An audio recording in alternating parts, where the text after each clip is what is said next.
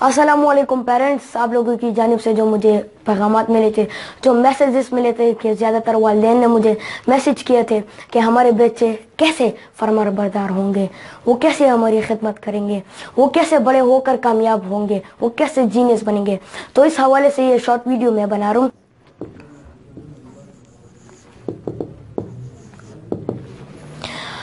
ہمارے مشرق جو پاکستان جس میں ہم رہ رہے ہیں، اس میں تین طرح کے تھری ٹائپس والدین ہیں یہاں پہ۔ تھری ٹائپس پیرنٹس ہیں۔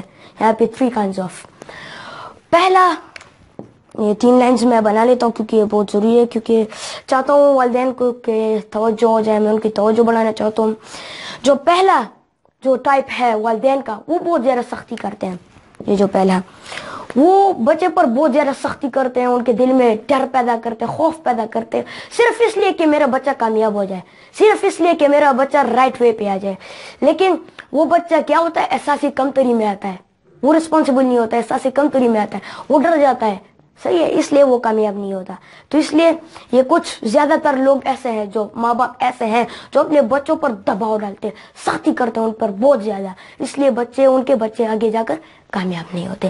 تو اس لیے پھر وہ گلا کرتے کہ کیوں نہیں؟ اور بچوں پر وہ بہت زیادہ غصہ کرتے ہیں۔ دوسرے ٹائپس کے جو ماں باپ ہے وہ بہت نرم ہوتے ہیں۔ پیار بہت زیادہ پیار محبت کرتے ہیں لاڈ پیار بہت زیادہ کرتے ہیں اپنے بچوں سے۔ اپنے بچوں کی جو بھی خواہش ہوتی ہے نا، وہ کمپیوٹر کی ہو، ایکس باکس کی ہو، جس چیز کی بھی ہو، وہ اس کو پورا کرتی ہو۔ اور جو خواہش نہ بھی ہو، وہ اس کو بھی لا کے اسے دے دیتے جو چیز بھی ہو، وہ لا کے دے دیتے ہیں۔ تو اس لیے اس کا بچہ جب بڑا ہو جاتا ہے، وہ معاشرے میں غلط طرف غلط طرف چلا جاتا ہے۔ اور پھر وہ بچہ بھی آگے جا کر کامیاب نہیں ہوتا۔ لیکن اب میں تیسری ٹائپ کی بات کر رہا ہوں۔ یہ تیسرے ٹائپ کے ایسے والدین ہیں کہ جن کے بچے پھر آگے جا کر کامیاب ہوتے ہیں، جن کے بچے سوسائٹی میں اپنا بڑا نام کماتے ہیں۔ تو میں آپ سب سے ریکویسٹ کرتا ہوں کہ پلیز آپ والدین سے کہ اب بھی یہ تیسرے ٹائپ کی طرح والدین جو ان کی طرح بنے۔ اب یہ تیسرے ٹائپ کے والدین کون سے ہیں؟ وہ بیلنس جو ہوتے ہیں، اپنے بچوں کو ایوریج میں رکھتے ہیں۔ نہ زیادہ سختی کرتے ہیں اور نہ زیادہ نرمی کرتے ہیں۔ بچے کی جو خواہش ہوتی ہے، تو وہ ان سے پوچھتے ہیں کہ اس خواہش میں یہ ضرورت ہے اس کی کہ نہیں۔ اور یہ ضرورت مند چیز ہوتی ہے، تو پھر اسے لا کر دیتے ہیں۔ ضرورت مند چیز نہیں ہوتی، تو اسے نہیں دیتے ہیں۔ وہ ایک بہت مشہور کہاوت ہے کہ سونے کا نوالا دیتے ہیں، لیکن شیر کی آنکھ سے دیکھتے بھی ہے وہ بچے کی خواہش پوری بھی کرتے ہو، لیکن دیکھتی بھی ہے کہ کام بھی کرنا ہوگا۔ مطلب محنت بھی کرنی ہوگی نا۔ تو اپنے بچوں کو بیلنسڈ ایوریج میں رکھتے ہیں۔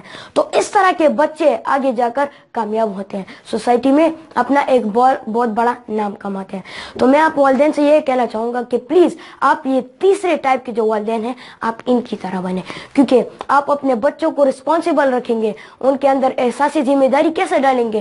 کہ چھوٹا سا چھوٹے عمر کا بچہ کیوں نہ ہو؟ اس کو آپ ایک چھوٹی سی ذمہ داری دو کہ گرمی ہو تو تم تم نے کیا کرنا ہے؟ اس کو ایک رسپانسبلٹی دو کہ پانی کے بوتل تم نے برنے فریج کے اندر رکھنے تاکہ سب لوگوں کو گرمی میں ٹھنڈا پانی ملے۔ تو وہ بچپن سے جب بندہ جو بچہ ہوتا ہے وہ رسپانسیبل بنتا ہے۔ اس کے اندر احساسی ذمہ داری آتی ہے۔ تو یہ قسم کے جو والدین ہیں، یہ اپنے بچوں کو ایوریج میں رکھ کر بیلنسڈ کر کے یہ پھر جا کر اب اس کے بچے جو ہے کامیاب ہوتے ہیں جینیس بنتے ہیں۔ یہ پھر جا کر اپنے ماں باپ کے فرما بردار ہوتے ہیں، ان کی خدمت کرتے ہیں۔ تو یہی تھا میرا session thank you so much یہ دیکھنے کے لیے۔ اور ریکویسٹ ہے والدین سے کہ جو سختی کر رہے اور جو یا زیادہ نرمی کر رہے، کہ وہ ایوریج میں آ جائے۔ مطلب اپنے بچوں کو ایوریج میں رکھیں کہ اس نہ سختی کرے نہ زیادہ اور نہ نرمی کرے۔ تو تب جا کر آپ کے بچے، تب جا کر آپ کے بچے فرما بردار ہوں گے۔ تب جا کر آپ کے بچے خدمت آپ کی کریں گے۔ تب جا کر آپ کے بچے آگے سوسائٹی میں ایک بڑا نام کمائیں گے وہ کامیاب ہوں گے۔ تھینک یو ویری مچ جی۔ وسلام